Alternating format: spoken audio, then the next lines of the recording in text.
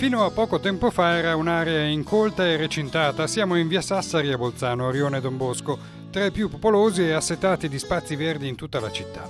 L'area è stata completamente sistemata e trasformata dopo che si era concluso il complesso iter burocratico per l'acquisizione da parte del comune della stessa area, attraverso la definizione tramite apposita convenzione con l'IPES di un accordo che prevedeva una serie di permute di aree. Si è preferito avere, anziché un unico spazio pavimentato, un'articolazione di percorsi che possono mettere in collegamento gli spazi pubblici esistenti con gli altri spazi ricreativi per consentirne un uso temporale e multifunzionale multifunzionale. La zona oggetto di intervento si affaccia come detto a nord su via Sassari ed è prospicente alla chiesa di San Giovanni Bosco, mentre verso sud conduce a via Alessandria. È una piazza che è diventata un parco e noi siamo molto contenti perché tra il resto è da alcuni giorni ormai che è aperto questo spazio e vediamo già